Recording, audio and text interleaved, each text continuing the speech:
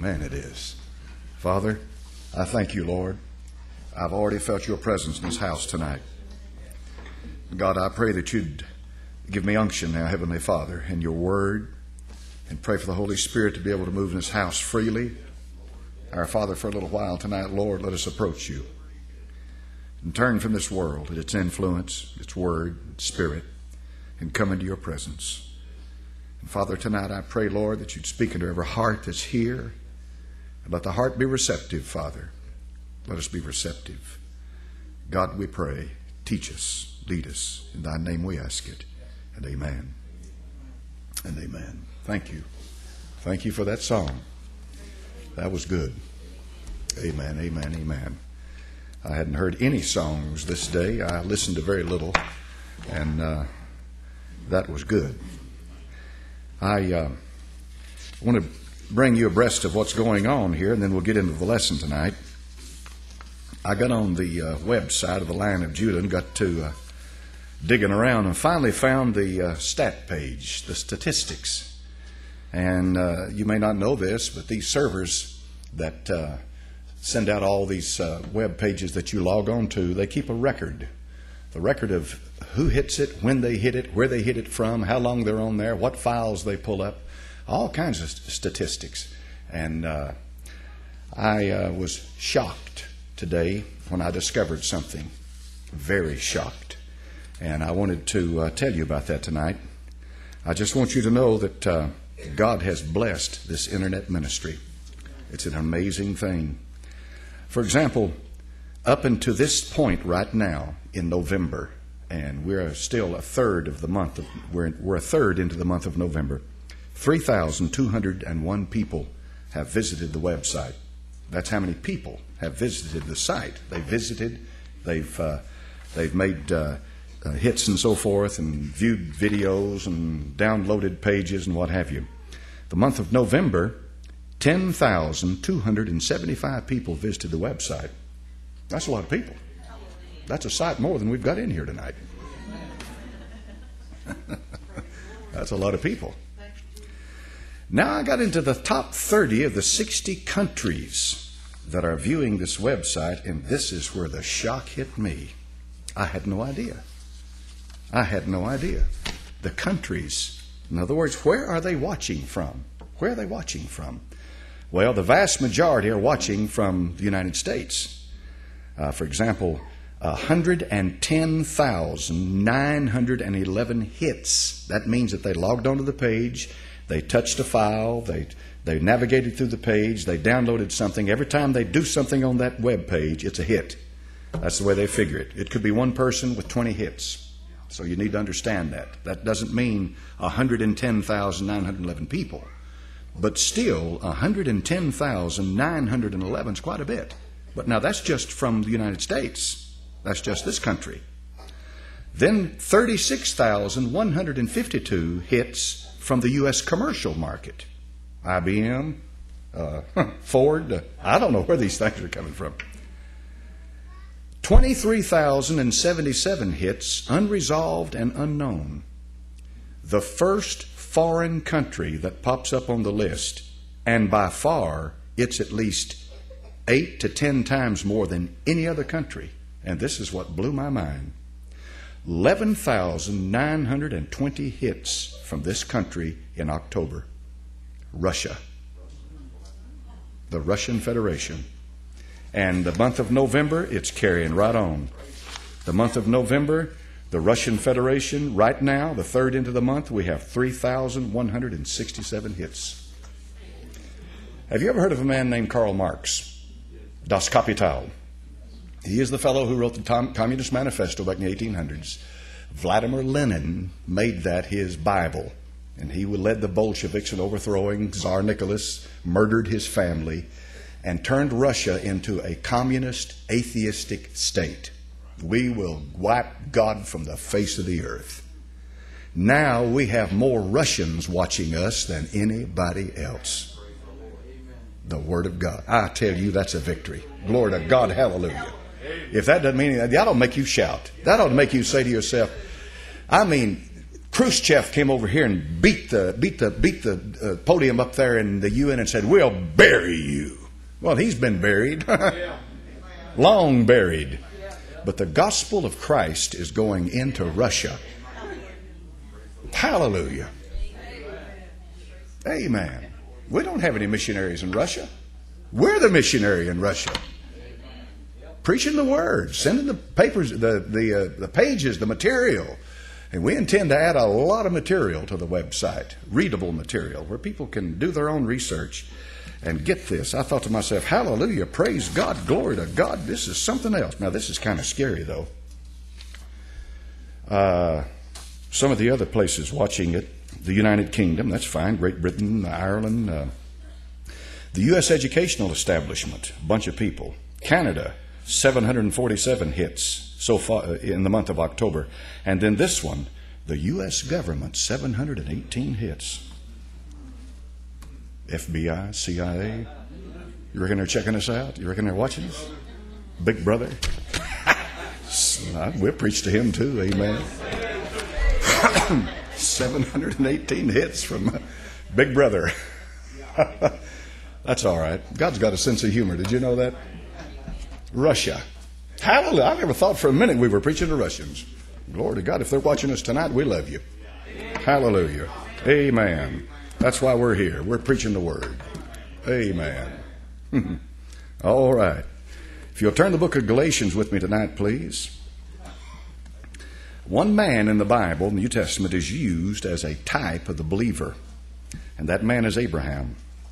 And I'm going to point tonight, I'm going to, I'm, I'm going to uh, focus tonight on a certain aspect of Abraham and, and, and his life and his faith.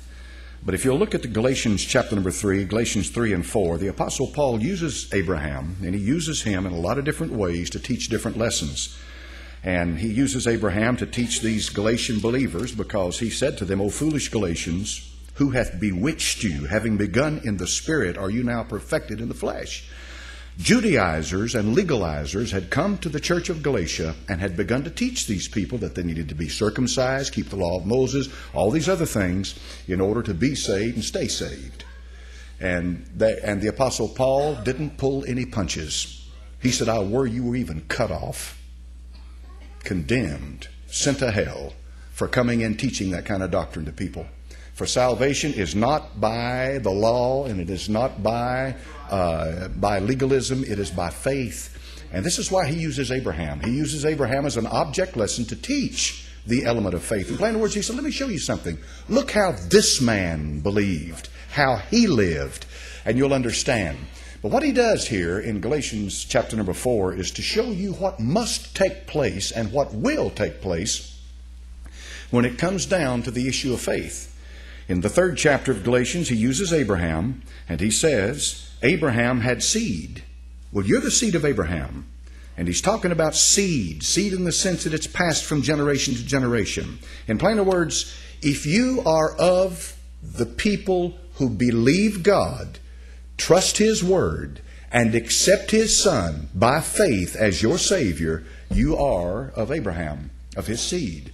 Because that seed that Abraham passes on is a supernatural seed and it is generated from generation to generation to generation. You didn't receive that from your father. You didn't receive it from your mother. Salvation is not inherited.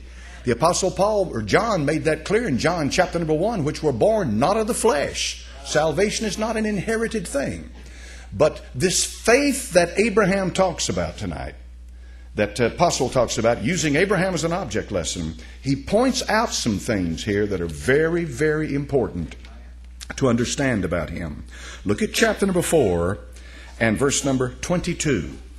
Galatians 4 and verse 22. We get that in one hand, and then we'll be going over to the book of Romans, chapter number 4, in just a moment. And uh, chapter number 4, the book of Romans, and verse number 17. In Galatians chapter number 4 and verse 22, it is written that Abraham had two sons the one by a bondmaid, the other by a free woman. He who was of the bondwoman was born after the flesh. That's how you're here. Everybody in this building was born after the flesh, or you wouldn't be here. But he of the free woman was by, now notice the word, promise. That's a big word. That's a powerful word. It's a very powerful word. Why is it powerful? Because it is God Almighty giving you something in His Word that is full, pregnant with meaning and pregnant with ability. It's just a matter of whether you can receive it or not. God puts it out there, and that it's up to you as to whether you can receive what God said. It's that simple. It's not a matter of whether you can do anything, it's whether you can receive the engrafted Word. Receiving the Word is this it doesn't, it doesn't mean that you've got it in your head and you say, Well, I believe all these things. That's not receiving it. Receiving the word is receiving it into your heart where you begin to act upon it. That's receiving it. You embrace it. You take it into yourself. It becomes part of you. You're taking what God said as absolute truth, and your life is established on that. You can't be moved from it. If God said it, that finishes it, whether you believe it or not. And so he, we have here two sons born of one man, Abraham, by two different women. Now, God had made a promise to Abraham, and you know all you all know about the promise. God said, "I'm going to make not of this. I'm, I'm, going to give you a seed, and this seed I am going to bless, and through this seed I'm going to bless the earth, and through this seed I am going." Uh, he didn't say to him, but through that seed the Messiah is going to come, and he did come. He was born exactly the way you were born, and the way all of us were born by the Spirit. The Lord Jesus Christ was born of the Holy Ghost. What's that mean? That means that if Mary had rejected the word of Gabriel, she would never have become pregnant. She had to receive what Gabriel said. And when Mary said, Let it be unto me according to thy word, unto thine handmaid. What did she say? I'm receiving the word. By receiving the word, she was impregnated by the power of the Spirit of God, giving life to her through the word of God. You ever notice how the word throughout the scriptures, Genesis to Revelation, is life giving? You ever notice how to receive the word you're receiving life and to reject the word you're rejecting life in whatever in whatever sense it can be understood? She received the word and received life where Christ could be born. You receive the word and you're receiving eternal life. You're receiving eternal life through salvation. So the Bible said he had two sons Ishmael by Hagar and Isaac by uh, Sarah. And so the Bible says that one of these was born after the flesh. It was born after Abraham's physical, earthly ability. The other one was born by promise. Sarah had to receive from God the word that, that, in, that generated life within her to bear that son. Abraham had to believe the word of God to have the seed to generate the son. So it took both of them believing the promise of God. The promise of God is God's ability to perform what He said He will do, but it's up to you to believe it. Now, notice what happens here in Galatians. And this happens with every one of us. Chapter 4, verse 22. It is written Abraham had two sons, the one by a bondmaid, a slave, the other a free woman. Why would the apostle call her a slave and the other a free woman? Because a slave can only beget a slave. Freedom begets freedom. Life begets life. Death begets death. Verse 23. But he who was of the bondwoman was born after the flesh. Because why? The flesh is indebted to sin and in bondage to sin. The flesh could not produce the promise. But he of the free woman was by promise. Which things are an allegory? For these are the two covenants the one from Mount Sinai, the law given to condemn you, convict you, and make you a sinner, make you conscious of your sin. And the only thing it could do then was to bring you guilty before God, where you begged for, for a Redeemer. That was it. That's what the message of Galatians 3 was about. So he said, The one from Mount Sinai, which gendereth to bondage, which is Agar, for this Agar, which is the New Testament saying of Hagar, is Mount Sinai in Arabia, where the law was given, and answereth to Jerusalem, which now is, to Jerusalem of the earth, where Christ was crucified, because all the law could do was nail him to a tree, and is in bondage with her children. But Jerusalem, which is above, is free which is the mother of us all. Now, you folks in Sunday school last Sunday morning, I went through that in detail. If you'll remember, we talked about how that, that mother above is the mother of us all, which Jerusalem which is free. For it is written, Rejoice, thou barren that bearest not, break forth and cry, thou that travailest not, for the desolate hath many more children than she which hath an husband. And what he's saying here is that the one who could not be expected to bear children did bear children. Throughout the Old Testament, time and again, God used types like he did when he brought forth when when uh, when when uh, Jacob had uh, he had he had Leah and she was having one child right after another. And he also had four concubines. And but his his love Rachel was barren. But God opened her womb. Supernaturally he opened her womb. Now watch this. Now we brethren as Isaac are children of the promise of promise. Now do you relate to that do you really believe that's talking about you? You, you have to understand something. He's going to say something right here in a minute that'll make you mad if you're not really born again. It's going to make you mad. It really is. And he intends to make you mad. The Apostle Paul meant to make them so mad that it revealed their true nature. He showed you at the very beginning of the book of Galatians how that the Judaizers, the legalizers, and all these had entered in into the midst of born again believers. Here they came with their Bibles under their arms. Here they came with their scrolls of the law. Here they came with their robes. Here they came with their prayer shawls. Here they came with all of the religious apparel that anybody could have. They looked good. They sounded good. They looked like that they were part of them. They believed in the God of Abraham, Isaac, and Jacob. They could quote the law verbatim. But there was something missing. Something all important was missing. They were very religious, and they appeal to the flesh. Because the flesh knows it needs something. The flesh knows it has a problem. Your flesh should know it's got a problem. What's the remedy for your flesh? The first thing that our parents did when their flesh revealed itself to them, when they really realized what their flesh was and what it was worth, what did they do? They covered themselves up. They tried to hide behind fig leaves. Now look what the apostle says in Galatians chapter 4. We, brethren, as Isaac, are the children of promise. But as then he that was born after the flesh persecuteth him that was born after the Spirit, even so it is now. Nevertheless, what saith the Scripture? Cast out the bondwoman. Well, historically, this is what happened. Ishmael was 13 years older than Isaac. That's quite a bit. When Isaac was a little boy, Ishmael was a young man was 13 years older than him.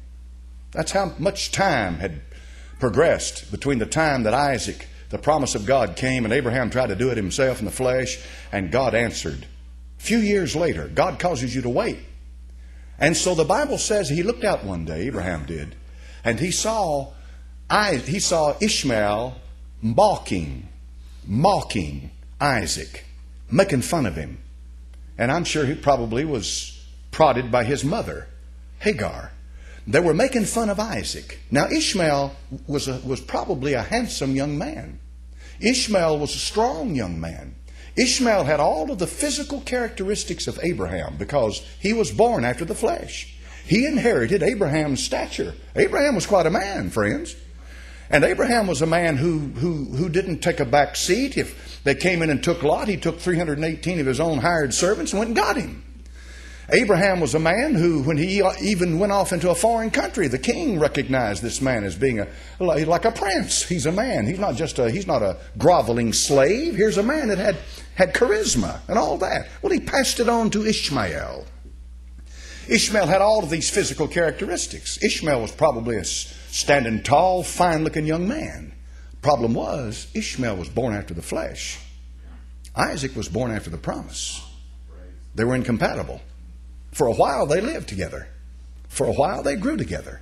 For a while, they were in home together. For a while, they went to church together.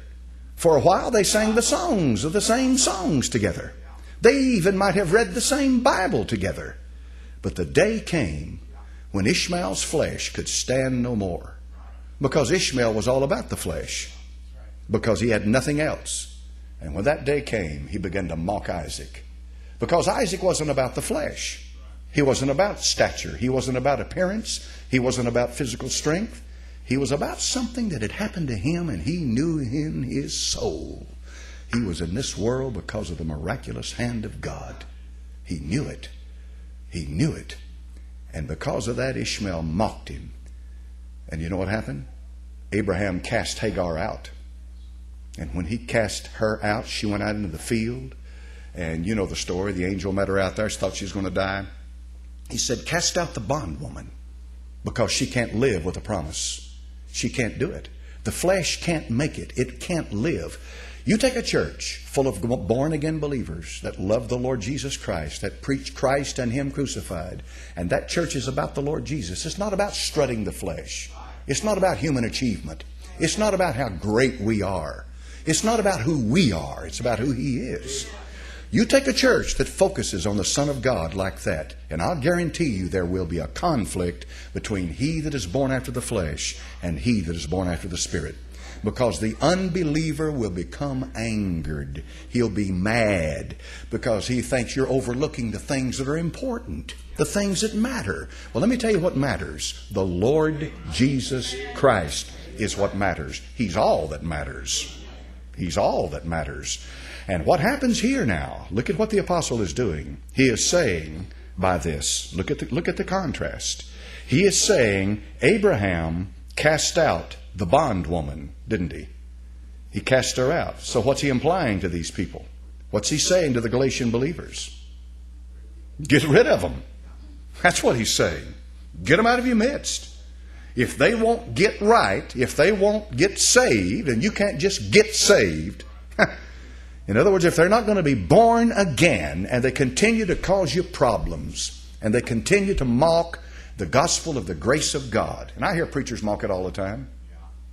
The people who lo- believe they can lose their salvation, they got a problem with the with for by grace are you saved through faith, not of yourself, the gift of God, not of works, lest any man should boast. They got a problem with it. They have a problem with eternal security. They have a problem with me believing that He is able to keep that which I've committed to Him against that day.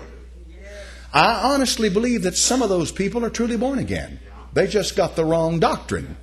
But I believe their ranks are full of people who are born after the flesh and not after the spirit. Because a guilty sinner falls before God and knows there's not a thing you can do to save your soul. There's nothing you can do to keep yourself saved. You know the best you can do still falls far short. You know it is if you're honest. You know it is. You say to yourself, God's got to make a way for me. He's got to make a way. And that's when you take the Word. That's what this is about. This is what Paul's saying. It's not about some thing that you can come into the church and take hold of. You know, you can't come in here and take hold of something and say, I'm taking hold of this and God's going to save me. No, you're not. He's not saving you because of some thing or not some thing you do. It's His Word that's gone out. Word. His character. Who He is. Is He a liar or does He tell the truth?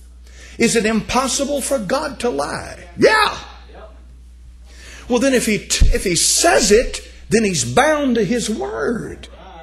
Now, here's the problem it's on your back.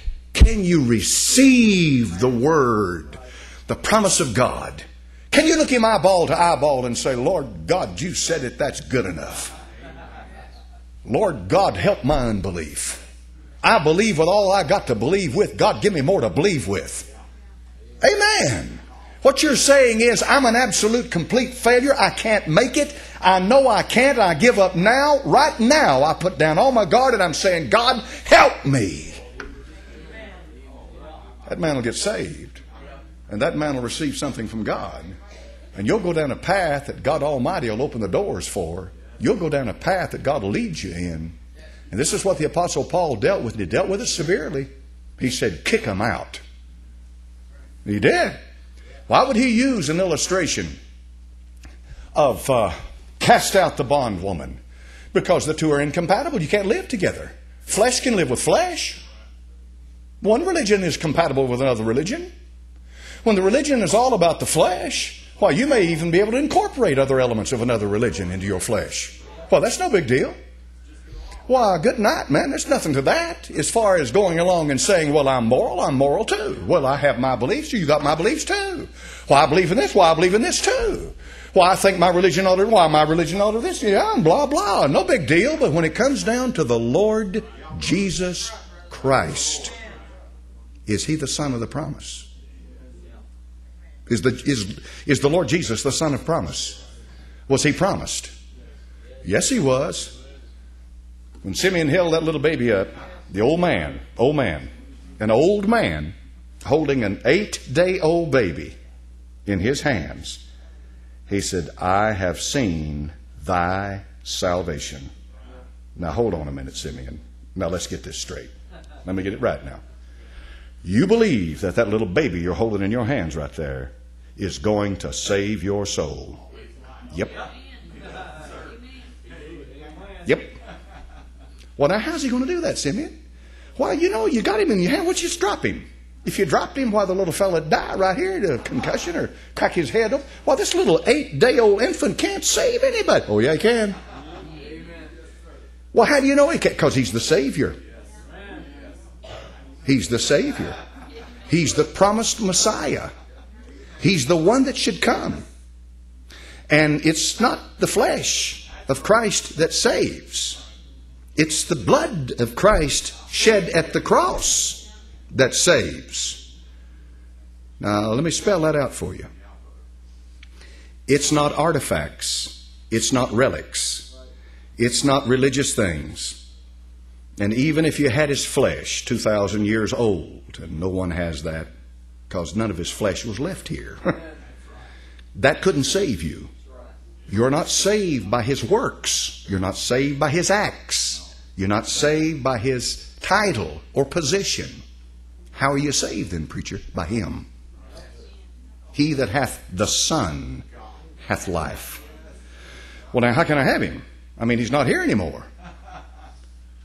Can you have the Lord Jesus since he's not here anymore? Well, how can that be? If he's not here, how can I have him? Well, that's why he sent the Holy Ghost. The Holy Spirit, when He comes, will not speak of Himself. The Holy Ghost comes not speaking of Himself. Well, then, if He doesn't speak of Himself, who does He speak of? It's a good question, isn't it? Who does He speak about, brother? Jesus.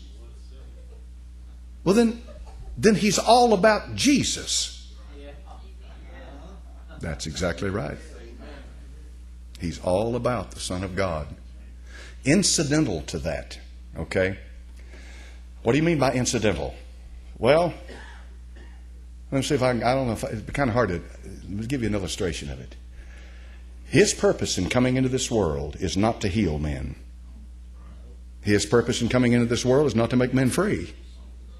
His purpose in coming into this world is to convince men of sin because they believe not on Christ and to receive Him as their Savior. But just because He happens to be around men start getting healed. And men are set free. All kinds of things happen just because he's here. But you see, he didn't come to do that. He came to make the Lord Jesus Christ, seated at the right hand of the Father, alive to you. He lives. He's a living Savior. Now, this is the this is the the soul, heart and soul of what I'm talking about tonight. You're not going to see him. You're not going to touch him. You know, you're not, you're not going to have him pay you a visit physically where all of a sudden he shows up on your doorstep and, and you can believe on him. You've heard his word. All right. Now let me tell you how important the word is, okay? The rich man in hell said, If I go back, let me go back. I'll warn my five brethren, lest they come to this awful place of torment. Just let me go. When they see me, when they see what I look like, when they see me that's just been belched up out of hell, it will shock them into salvation. No, no. What did Abraham say? No, they have they have they have the word. They have Moses and the prophets. Do you realize how powerful that word is? Do you ever realize how powerful the name of Jesus is? Some of you have prayed and prayed and prayed and prayed and prayed and waited and waited and waited for God to do something when all along He put a word into your heart that will explode into faith if you can receive it. When I bowed my head on that sofa that day, I just bowed my head. Deacon sitting on this side, I'm sitting here. Some of the family members in the room. Two, three, four, I think about five of us in there. I bowed my head. I said, Lord, be merciful to me, a sinner. Now, let me tell you some things that happened, okay? I meant what I said, number one. Number two, I knew I was talking to God because I was under deep conviction and my heart reached up to Him. I knew He heard me. Number three, when I bowed that head and said what I said, I believed what I had done right then. I believed it. I accepted it. I embraced it. I received Him right on that spot. When I called upon His name, I said, Lord Jesus, come into my heart. And when I raised my head up, I had received the Son of God, and my life had changed immediately. Immediately. Right on the spot. Some folks have such a hard time receiving God's Word. And I can't explain, I don't have all the answers. No. They weren't even my words, brother. I don't even remember all the I don't even remember what all I said. I just know what I I know what I did. I know what I did. And I know when I raised my head up, I wasn't the same. I had changed completely from that moment on. Such a profound change. It's, it just blows my. I can't explain it to you. You have to. There's no way. You have to. You have to do that. You have to be born again. And when I raised my head up, I knew I was in a different world. I was not the same man that, that lowered my head. And man, I'm, I'm telling you right now, friends, I came from a hellhole. I lived 27 years in hell. 27 years of it 27 years, never a hellhole you can imagine. And I raised up my head, glory to God, I wasn't, wasn't me anymore. That's 36 years ago. That's 36 years ago. I received, I took in, and He has never left. Let me ask you this Do you believe God? He that cometh to God must believe that He is and that He is a rewarder of them that diligently seek Him. All right? When you believe Him, you're receiving His Word. When you receive His Word, you've taken seed into you. You've taken something inside of you that's alive. Amen. God has planted within you, the moment you receive His Word, He has planted within you a seed that'll spring forth into life. Can you receive it? If you can receive His Word tonight, then you can receive from God anything God wants to do for you or communicate to you. Somebody in the flesh says, "Well, I just, you know, I just believe that a man needs to. I just believe a man needs to, you know, I mean, he ought, he ought, he ought to get some things right first. He needs to, you know, that sounds good. He, he ought to go around and, and just and just uh, do right about the things he's done wrong, and do people right about that he's done wrong, and pay his bills, and and then God will accept him. Doesn't that sound good? See what I mean? What he's trying to say is that I'm going to clean my flesh up. God doesn't accept your person. The Bible said he accepteth no man's person. Does he? He's no respecter of persons. I know some high and mighty don't like that. I realize that. But he does not respect receive your person. You receive his son, who makes no distinction. Now, tonight, if you need God to heal your soul, if you need God to heal your body, if you need God to lift some burdens off your soul, if you need God to open some doors for you, if you need God to do some things for you, that if, if really the bottom line is, if you just need to give your life to God and let Him take care of what all you need, you know, you really do a whole lot better off. I got down in my prayer closet, beating the floor, and telling God what all I needed, and telling him what I'll need Him to do. And He said, Shut your mouth. He said, I'm going to do what I'm going to do. And when I finally gave it to Him, it wasn't a week, buddy. He started doing things. He really did. He really did. He really did. You, you know what I mean by that? Let Him take control. Give it to Him. Give it to Him. And that's not easy to do. Flesh wants to hold on to it. Give it to Him.